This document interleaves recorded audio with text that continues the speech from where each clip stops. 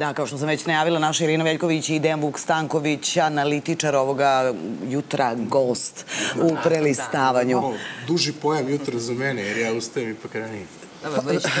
Verujte i mi. Evo da krenemo. Uveli smo da, u ovom pričom, to nam je i bila želja. E, Kako komentarišeš ovaj, kada je reč o napadu na predsjednika? Evo videli smo pojedini mediji, opet se ovaj, provlači napadi na porodicu, targetiranje. Ja mislim da tu Poređenje stvari sa reč, kriminalcima. Mhm. tu je u stvari reč o novinarskoj zloupotrebi jednog psihološkog mehanizma koji je prirodan i normalan za svakog čoveka, a to je briga za porodicu. I onda, pošto svaki čovek koji drži do sebe, do svog života, drži i do svoje porodice, posebno one najbliže, dakle do supruge, dece, roditelja, braći i sestara, bilo rođenih, bilo nekih izvedenih, onda on reaguje tu emotivno i reaguje sa željom da spreči da njima neko nanosi neko zlo, reaguje saosećajno i tako dalje. E sad ovde politička borba očigledno gubite koordinate svesti o tome da vi ne možete da idete da blatite porodicu zato što vam se ne dopada politika koju neko vodi ili vam se ne dopada to što on ubedljivo drži primat u rejtingu što mu omogućava da ne znam dugo vlada. Dakle, ovde se radi prosto o tome da se zlupotrebljava ta neka porodična bliskost koju prirodno imate sa svojim najbližim srodnicima, ne bili ste nekome najpre lično naneli štetu, a onda ga kroz nanošenje lične štete negde pomeli politički. Dobro, ali... Nije lako, pazite, nije lako ako svaki dan slušate recimo odvratne stvari o vašem bratu, majci, ocu, detetu i tako dalje. Kao što recimo njima nije lako da slušaju najgnusnije stvari o njemu. Jer ta bliskost porodična je teško uporediva sa bilo kojom drugom bliskošću koju vi imate sa različitim ljudima. Ali zašto Dakle, u, u posljednjih u, godina, ne posljednjih godinu dana, nego posljednjih godina, stalno paralelu o, predsjednika, odnosno predsjednikove porodice, brata evo, i sina, e, stavljaju u kontekst u kriminalnom miljeu? A zato što je to način na koji možete da se obračunavate sa predsednikom. Dakle, prvo, kriminalom se ovde bave policija i istražni organi, ne bave se novinari. Ali Ovde dolazimo nekako, upravo, da. Ne, ovde smo nekako Zamenili ulogu. zamenili uloge, pa su sad novinari počeli se bave u svojim tekstovima istragom i presudom. Znači, ne samo istragom, nego kod njih je već i gotova presuda, već je, kako kažem, neko identifikovan kao nosilac neke korupcije ili kriminala. Neko je kriv. Dakle, to je ono što ruši zapravo čak ako hoćete i mogućnost da imate kredibilne institucije. Dakle, e, a svima njima su puna usta institucija koje treba efikasno da se bore protiv korupcije i kriminala, odnosno da... Dobro, i onda kad predsjednik kaže da će krenuti u E, ozbiljnu onda kreće borbu... odbračun s njim. E, pa možda je cilj, u stvari, da on odustane od te borbe. Dakle, da mu nanesete dovoljno emotivnog i moralnog Ako, zla. ne, a, ako, do, ako, da se čuto, ako se čuti, ne valja. Ako se kaže, ne valja. A to i jeste problem s takvim radikalnim napadima. Dakle, obično političari ne moraju da komentarišu baš svaki napad na njih. Ali ovde se pravi serija najtežih mogućih napada da vi ne biste ćutali, odnosno da bi se podgrejala neka e, negativna atmosfera u društvu, sve u cilju toga da se ne pokreću istrage. Jer ne možete vi kada politizujete sve u medijima, kada date verziju već neke kriminalne afere e, kao novinar i to plasirate difuzno od društvenih mreža preko različitih elektronskih medija, onda te zvanične institucije zapravo imaju vezane ruke, onda one rade pod strašnim Pritis. pritiskom javnosti. Kako ćete vi da dokažete recimo da za neku aferu koja je pokrenuta na nekom od tih portala nema dokaza koji mogu da budu korišćeni na sudu? Kako vi njih da ubedite da je to tako? A postoji razlika između onoga, recimo, što vi i ja možemo imati kao sumnju, da je neko nešto uradio, i onoga što se u istrazi, a posebno na sudu, dokaže da je neko uradio. Dakle, kod nas su zamenjena dva, dva nivoa koja su važne za istragu. Ja ne kažem da novinari ne treba da ukazuju na zloupotrebe. Ne kažem da novinari ne treba da e, skrenu pažnju, odnosno da izraze sumnju u ispravnost postupaka nekog državnog organa, odnosno nekog funkcionera. Ne. Oni mogu da rade i to, i treba da rade to. Međutim, ne može novinar da bude neko ko će umesto sudije da presudi u nekom slučaju. Da, jer već unapred ovde kod nas Jer se ovde dešava vi da... unapred iz političkih razloga identifikujete neki ljudi. Pa onda kažete, e sad, ne znam, pošto je to očigledno pod znacima navoda najpopularnije, kažete, ne znam, Andrej Vučić je siva eminencija privrednog života U Vojvodini. u Vojvodini, Pokrajini, Beogradu, da, ne da. znam ni ja gde sve ne. Pri čemu za tako nešto nemate dokaze da on koristi na nedozvoljen način svoje utice da bi sticao neku materijalnu korist. Nemate dokaza. To prosto dokaz koji bi mogao da bude ponuđen institucijama koje bi mogle na osnovu toga da ceo slučaj pod A procesuiraju, a onda izvuku neku e, jeli, kaznu za to ako je došlo do prekršaja nekog dela. Ne. Vi ste njega identifikovali kao kriminalca. E sad, šta je tu cilj?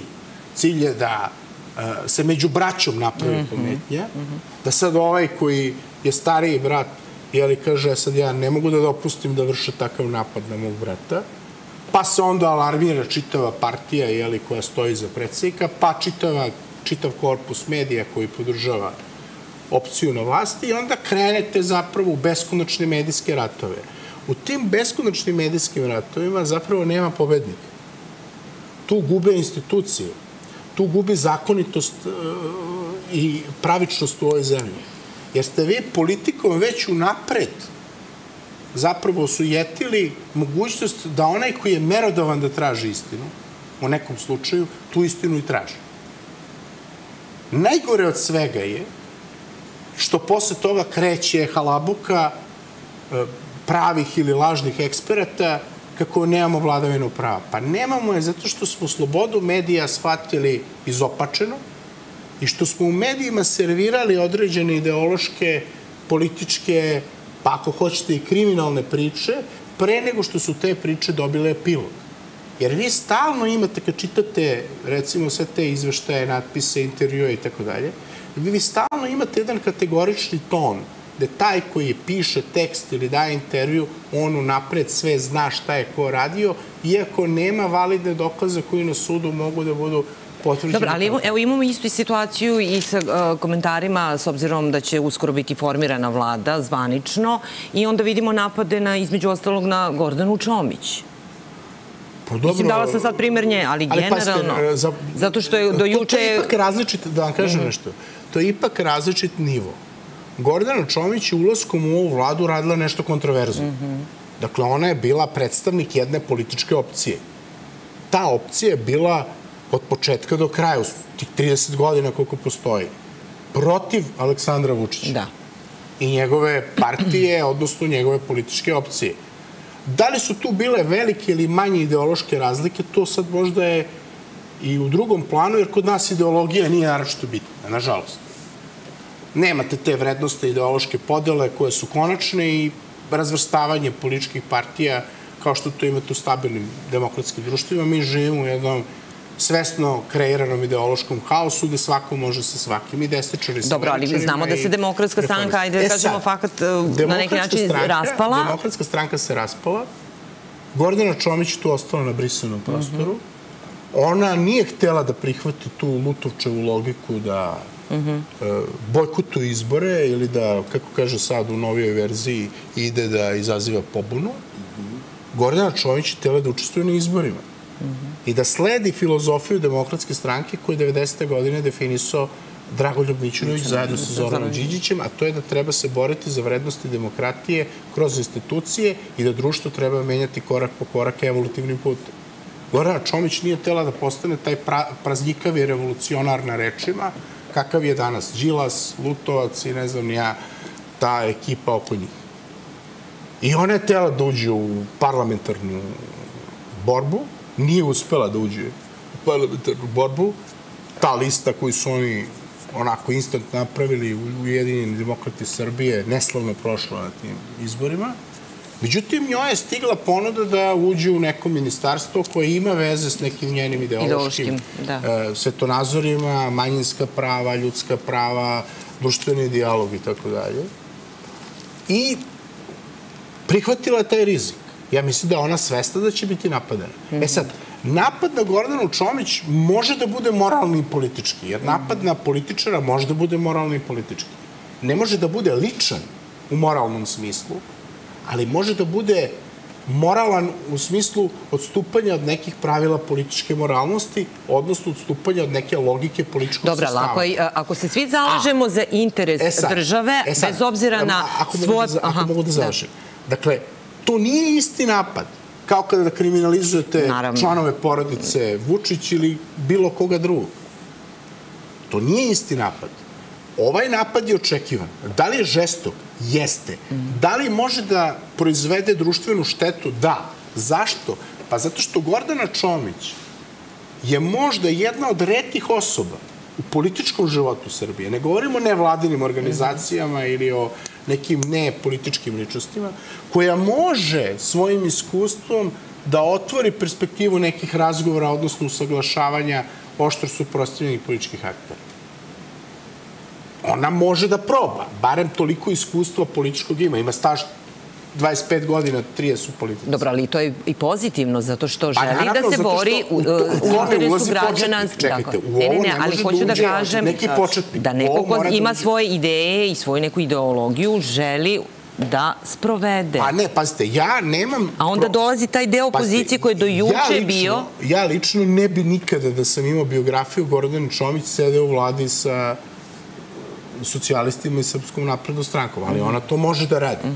To je njen lični izbor. Ja ne mogu na to ništa kažem. On kaže šta ja ne bi radio. E sad, njen angažman ima smisla u meri u kojoj ona postigne rezultat. Dakle, tu više nema ničega osim toga da ona proba da približi različite stave. Videli smo probaje gospodin, e, kako se beše zove, onaj Riđi, Antonijević. Milan. Milan, Milan Antonijević. Probao je zajedno sa direktorom CESID-a Klačarom. Prošle godine. Kad Bili su oni imali razgovori, razgovor, forum da, je da, bio da. neki na serija, onaj forum ima Fakultetu, seriju da, nekih sa- sastanaka na Fakultetu političkih nauka. I nisu mnogo uspeli. Iako su pripremili platformu, imali jasno definisati... A šta nam to govori? Zašto? Pa ne znam. Neki, jedan deo opozicije misli da njihovo politički gledano učešće na izborima stravično mnogo košta. I oni bi zapravo, to smo, ja mislim, u ovom studiju govorili pre godinu i po dve dana, kad su bili oni aprilski e, mitinzi, jedan miting opozicije, drugi miting vlasti. Mislim, to je bilo 2018. ili 2019. Ne mogu se. A, tada, tada, tada se otvorila ta priča o dijalogu, o prevazilaženju te moguće izborne krize, o izbornim uslovima i tako dalje. Da li će se nešto, ja se izvinjam, promeniti s obzirom da je predsjednik vidite. najavio da za godinu, godinu i po dana će biti vanredni parlamentarni. politika je, politika je onoliko koliko je stvar razuma, stvar i volje. Dakle, ja ako ne želim nešto da uradim, ja ću pronaći beskonačno razloga da to ne uradim. Dobro, ali ovde to nije nešto- lični. pazite. ja hoću, nego A, u interesu ne, građana. Je ključno, da kažem nešto, ovde je ključno da jedan i, jedna i druga strana, uslovno rečeno, jedna Da, i da. druga strana, kažu ja hoću da uradim nešto da ova politička zajednica se vrati u neke normalne koordinate. Bez obzira na uspeh Srpske napredne stranke, koji ne treba pocenjivati, mnogo glasova su osvojili, posebno zbog toga što su ostali Vidimo da na sad na najnoviji Pa istraživanja da, još govore gore su da... po opoziciji. Da. Ali, ali kako ja kažem, broj ima 60, preko 60%. 66%. E, Da, e, pazite, e, e, ali nije, nije baš ni, ni, ni, ni normalno da 50% ljudi nema za koga da glasa. I nije baš normalno da u 21. veku u Srbiji, posle 30 godina parlamentarnog života, sve stranke budu vlasti, a da nismo u ratnom stanju. I nije baš najpreporučljivije da, nas, da nam pišu onakve izveštaje u Savetu Evrope i da se donose, e, ne znam, deklaracije protiv Srbije od strane posredničkih grupa u Evropskom parlamentu. Dovoljno smo se toga naslušali i nagledali 90. godina A i još uvek ne možemo od toga da se oslobodimo. Ja lično mislim da treba uložiti maksimum napora da se tako nešto, kao što je ovo stanje sukoba, radikalnog sukoba, koji je na, na sreću još uvek verbalan, da se to postepeno prevazilazi. Naravno, oni koji su kreatori tih omraza, oni ne mogu da sede ovako jedni naspram drugih. Tu mora postoji neki posred.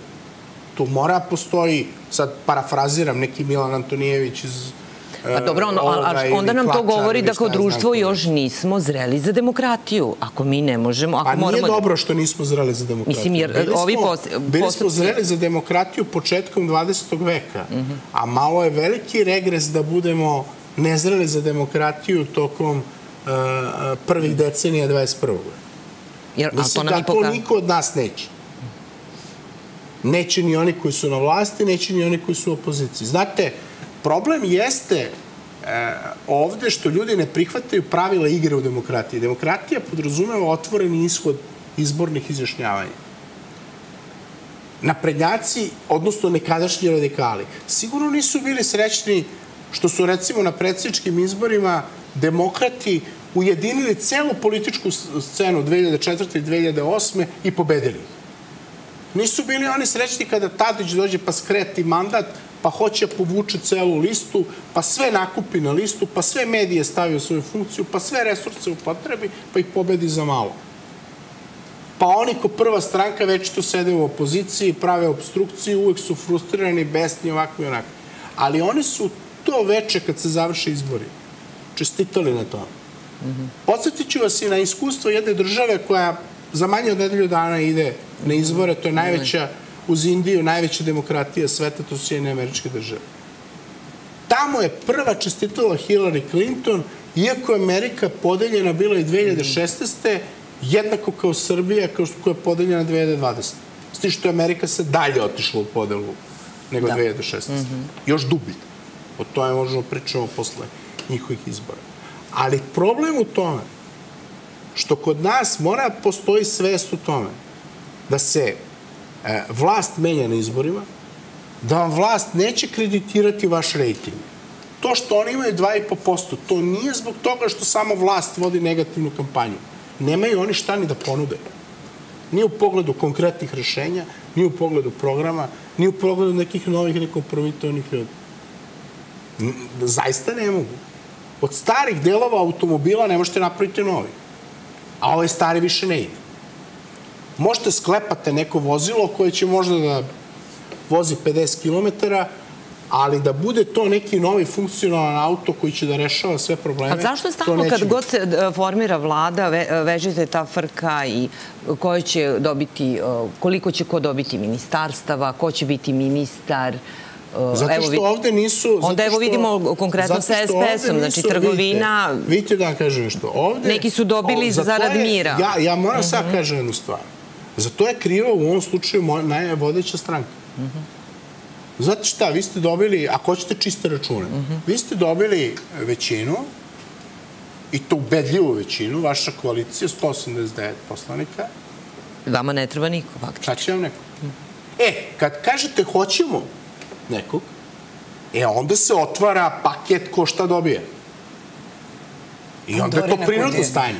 To o čemu vi pričate, ta TZV frka, je prirodno stanje jer ste donali odluku da pravite vladu u kojoj uključujete one koji vam ne trebaju. Dobro, ali onda se daje mogućnost vlast, daje mogućnost i drugom, a i ako im ne trebamo, eto, možete da učestvujete. Da, ali onda paralelno s time ide frka. Jer onaj koji je bio u vlasti, odnosno u najjačoj vladajućoj partiji, koji se trudio u kampanji, koji je animirao aktiviste, koji išao da obija glasove, koji išao u medije da se bori za to. On kaže, pa čekajte, pa mi smo i ove pobedili, pobedili smo i one koji bojkotuju, ali pobedili smo i ove koji su konkurenti. To je takmičenje. Znate, zamislite košarkaški tim koji je pobedio, koji pozajmljuje svoje poene košarkaškom timu koji je izgubio. To se ne dešava, u košarci su čisti račune, zna se ko je pobednik, jel? I u futbalu, i u košarci, i ne znam, u hokeju, i kom god hoćete. Politika je tu ko sport. Vi ste dobili čistu situaciju, nikad čistiju. Ne bi bilo te frke ko će gde, kako, da je napravljeno ono što se radi svuda u svetu. Znate, konstitucione vlade se prave u specifičnim okolnostima koje nisu ove.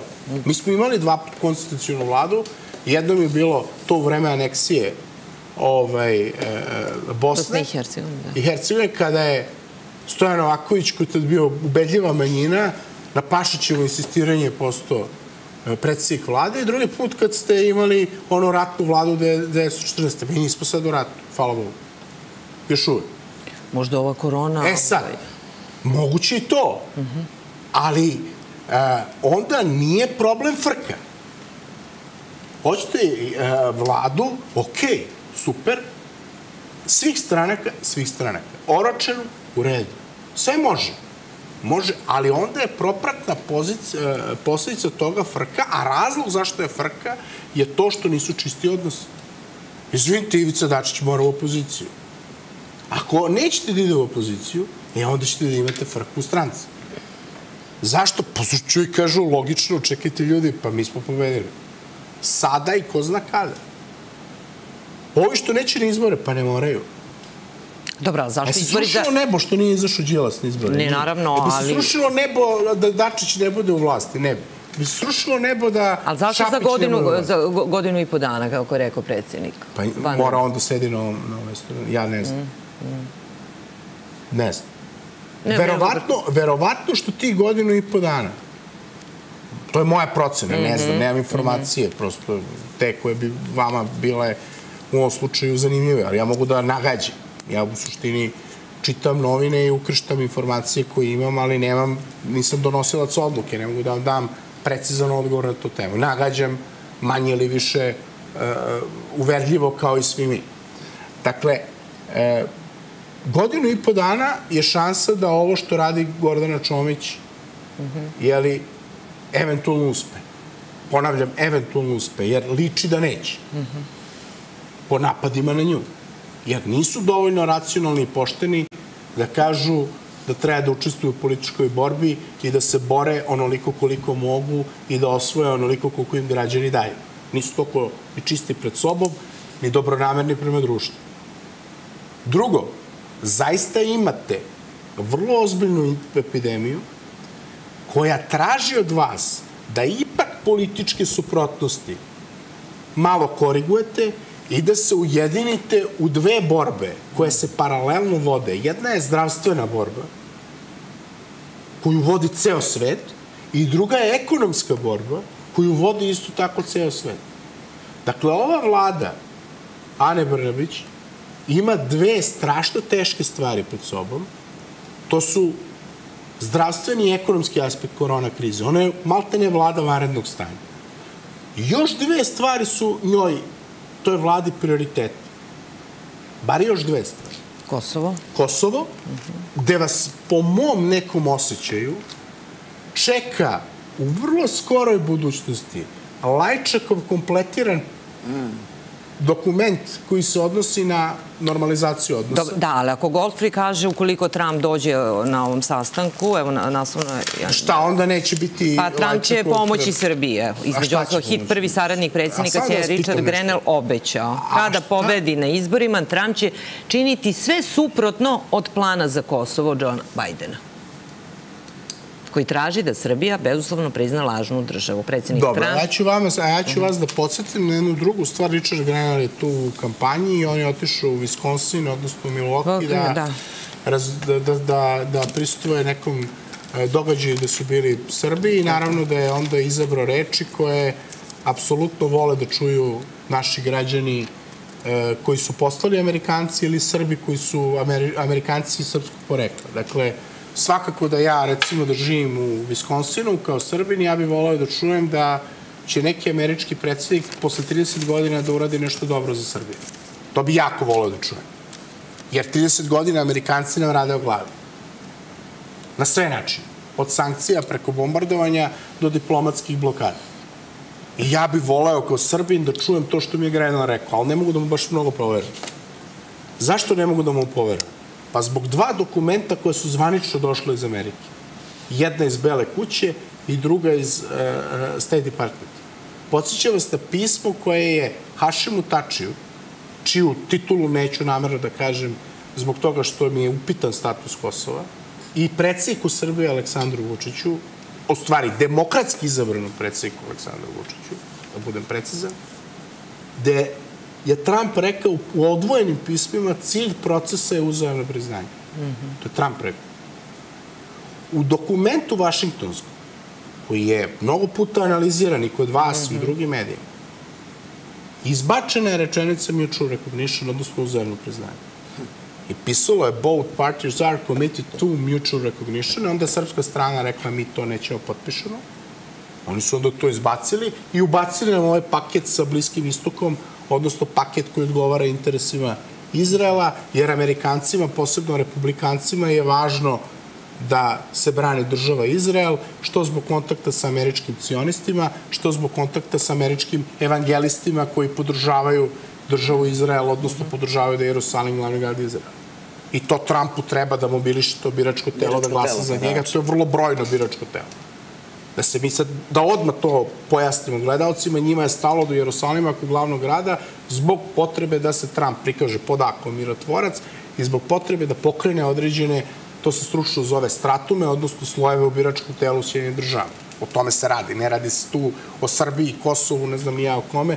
Tu je primarnan interes Izraela, koji je njihov glavni geopolitički saveznik na, i vojni na, na ovom, kako se zove, Bliskom istoku, zbog potencijalnog stvaranja alijanse protiv e, Irana, i to je isto aspekt koji, koji, koji, koji se ovde ne, ne analizira, i radi se o tome da vi dobijete jedan deo biračkog tela. Jer očigledno će ovi izbori u Americi biti jako... E sad, to što je Grenell rekao, daj Bože da je tako, Dobro, vidjet ćemo između ostalo, pošto nam je, ovaj, o, nemamo više vremena. Da. Vrlo, Kaže Rasim Ljajić, nisam umrao sad kad nisam ministar, ljudi misle da sam pokojnik, telefon ne prestaje da Neću zvoni. ni ja umreti kad ne budem analitičar. Dejan Vuk Stanković a, je bio... Evo ja odmah da, da završim, mnogo sam bio ozbiljan, pa odmah kažem neću umreti ako budemo na ne budemo na Ne, Našalili smo se malo za kraj.